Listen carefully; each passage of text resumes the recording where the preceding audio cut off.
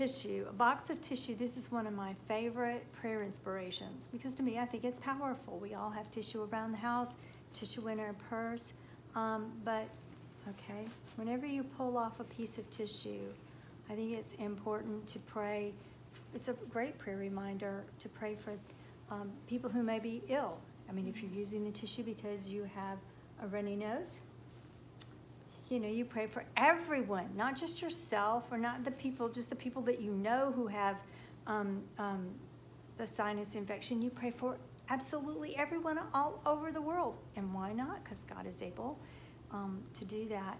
But above all, um, when people who are crying, people with broken hearts and minds and bodies throughout the world, um, whenever you pull off a piece of tissue, be reminded to pray that people are crying all over the world and the Lord is near the brokenhearted. And for us to be near Him and with the brokenhearted, we can pray for them, whether they're in Africa or China or Nepal or America or Central America or wherever they may happen to be.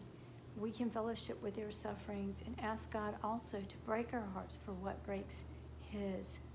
And um, that's part of being involved in intercessory prayer. So put a box of tissue in a very strategic place, kitchen, bathroom, every room in the house.